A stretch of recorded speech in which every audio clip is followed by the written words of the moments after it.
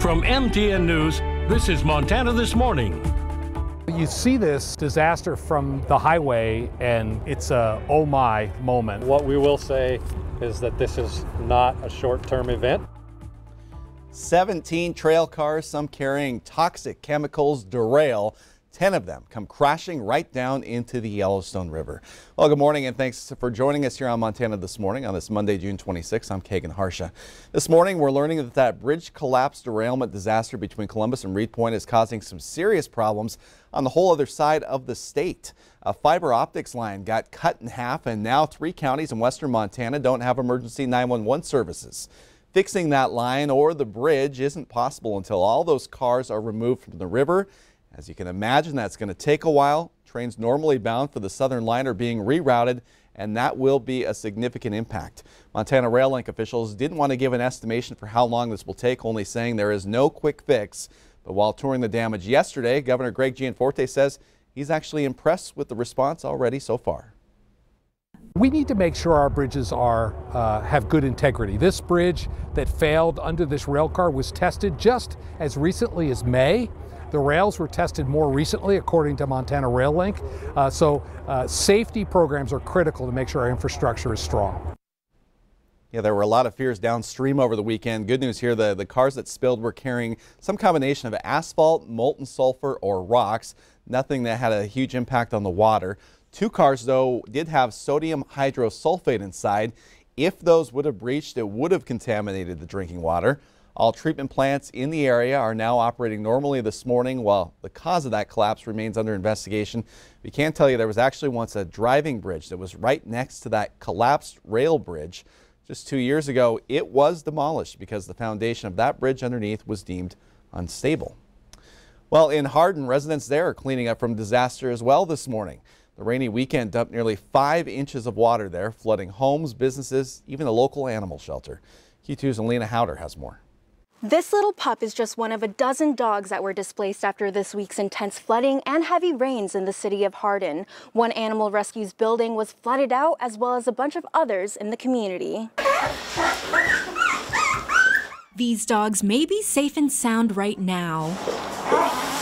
But that wasn't the case Saturday. It just has rained and rained and rained. Hardin residents Tammy Devers and Chris Schneider take care of 22 dogs through their nonprofit Hamster Boy and Tiger Lily Animal Rescue. But this weekend, they had their hands tied when their building flooded. So Chris, my daughter, and her husband waded through knee deep water had to carry most of the dogs. These pups were temporarily displaced here to one of Chris's old mechanic shops after their rescue building's power had to be cut because it was underwater. And it was far from the only building in town that was flooded out. Last count I heard was approximately 15 to 20 that had water backing up, sewage backing up um, because of the overload in the, in the backflow. Mayor Joe Purcell says that water from irrigation ditches overflowed into the roads, flooding them out, affecting multiple events like Little Bighorn Days and the PRCA Rodeo. It was a wet Friday night, and then Saturday night they had to cancel it because the road washed out. So we couldn't get spectators in, we couldn't get livestock out, so everything just kind of shut down. He said a water main did break around 11 p.m. Saturday night, leaving some homes without water. At this time, there's probably five to six homes that are completely out.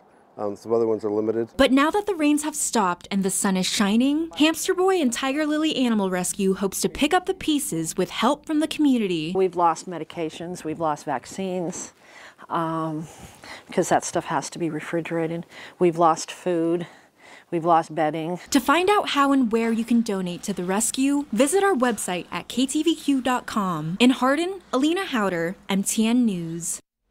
Yeah, a lot of events actually planned down in Bighorn County over the weekend. Looking at some of the aerials, that was a ton of water. That a lot, a lot of water, and they still have a flood warning in effect around Hardin. If we want to show that graphic there, it's till officially till lunchtime today.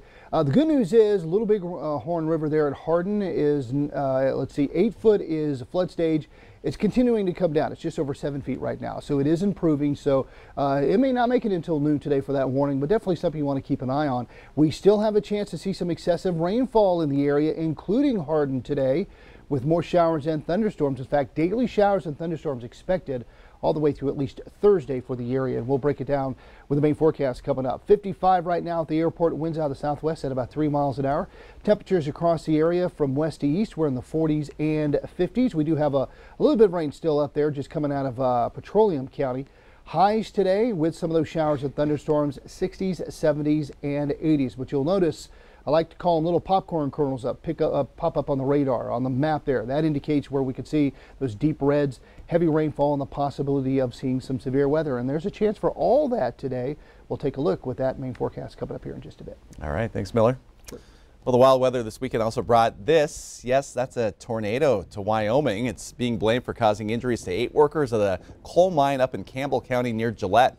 A tornado touched down during a shift change, and a group of employees were actually inside buses about to head back to base when that tornado picked the buses up, sending the men bouncing inside the cab. Almost miraculously here, none of those injuries were life threatening, though six people were transported to the hospital.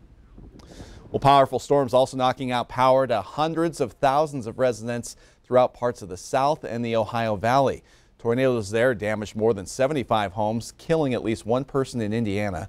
More than 6 million people were under an enhanced risk for severe weather last night, and that concern also continues into today. Well, new this morning, the leader of a group of Russian mercenaries is believed to be on his way to Belarus, ending a short-lived rebellion against the Kremlin. Well, the captivating scenes of armed fighters in Russian streets have given way to more calm this morning. U.S. officials are questioning if that situation has exposed cracks in Russian President Vladimir Putin's authority. CBS's Riley Carlson has the latest. Residents cheered as Wagner mercenaries left the Russian city of Rostov, ending an hours-long revolt launched by the group's leader, Yevgeny Prigozhin. Prigozhin seized the city and began to advance towards Moscow over the weekend after blaming the Russian military of targeting and killing his men with a missile strike in Ukraine. Russian defense officials have denied it. Russian President Vladimir Putin called Prigozhin a traitor on Russian state TV Saturday, but later accepted a deal brokered by the leader of Belarus to allow him to live in exile in the neighboring country without prosecution. The Kremlin also agreed to pardon his fighters. This is an unfolding story, and I think uh, we're in the midst of a moving picture. We haven't seen we haven't seen the last act. On CBS Face the Nation, U.S. Secretary of State Antony Blinken hinted that the situation raised questions about Putin's grip on power. It was a direct challenge to Putin's authority. So this raises profound questions. It, it shows real cracks. It all comes as Ukrainian forces are weeks into a counteroffensive. Officials in Ukraine say they're making progress towards Bakhmut. I think what Ukraine needs to do is press every advantage it has to use this moment to get its territory back. Over the weekend, President Biden spoke to Ukraine's President Volodymyr Zelensky about the war and, quote, recent events in Russia. Riley Carlson, CBS News, London. President Biden also discussed the war in Ukraine and that security situation in Russia yesterday in a phone call with Canadian Prime Minister Justin Trudeau. Well, Montana Republicans are starting to receive some threatening letters very similar to those seen in Tennessee and Kansas recently. Montana Highway Patrol is investigating mail just sent to House Speaker Matt Regier that contained a white powder. Suspicious letters were also mailed to Representatives Neil Duram of Eureka and Rhonda Knudsen of Culbertson. You may recall the same thing happened to several GOP lawmakers in Tennessee last week and two weeks ago in Kansas. It's unclear if all this is connected. More than 100 elected officials in Kansas actually received those similar threatening letters. Well, progress and innovation are often associated with the car industry, but more and more companies are now looking in the rearview mirror when it comes to driving their businesses forward. Reporter Dan Grossman takes a closer look at how younger generations are now hopping on board the nostalgia bandwagon.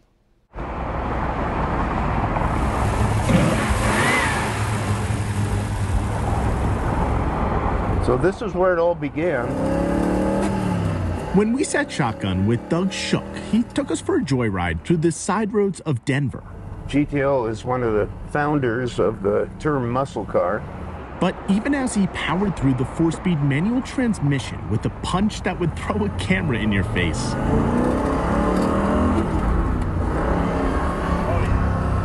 I almost put my eye out. It was hard for Doug not to take us on a detour down memory lane. It brings me back to when I was driving these when they were newer. And most of those memories are nothing but good, right? You might remember when you were racing your buddy. Uh, you might remember the first time you went on a date. You might remember your first kiss. Who knows? Cars have long been considered a milestone of technological innovation, even when today automakers are starting to go retro, reminiscent of the way they maybe looked in the 60s, 70s, and 80s. Throughout 2022, the collector online auction site Bring a Trailer saw a 50% increase in year over year sales. By year's end, over $1.3 billion in transactions flowed through the site, crushing the site's previous record of $859 million in 2021. Manual transmissions have also been on the rise.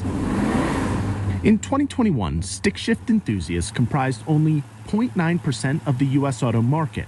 By 2022, that number rose to 1.2%. And sales figures for the first few months of this year indicate that number has already hit 1.7%. The service business has turned out to be absolutely incredible. There's such a demand to repair these cars. It's meant big business for collector dealerships like Shooks and major manufacturers as they put the future of their profits in the chassis of their legends. When most of us think about the past, we, we have positive thoughts, and, and the auto industry really does well to, to capture that. Tyson Jominy is the vice president of data and analytics for JD Power, and he says the reason is simple manufacturers want to ensure their bottom line as their industry transitions into a future full of risk with electric vehicles. I mean, as EVs come in, they're a very risky proposition. It requires a, a very substantial upfront investment in a new technology. It requires new plants, destroying our old plants to make new ones. And so you have all this risk. And so a great way to offset some of that risk is to apply it to a nameplate or a model that people are familiar with. Um, and so it helps to sort of bring the old customer base up to current levels and where we are where the industry is going so it's a nice blend of of risk uh, mitigation with with that nostalgic feeling Dodge plans to take the signature roar of its muscle and play it through an electronic speaker when it releases its new Charger next year. Ford did the same thing last year when it made its F 150, the best selling pickup in America for more than four decades, fully electric. I never thought I'd see the day where the 70s cars and the 80 cars would be popular. Injecting a classic feel in a market defined by relentless innovation. Dan Grossman, Scripps News, Denver.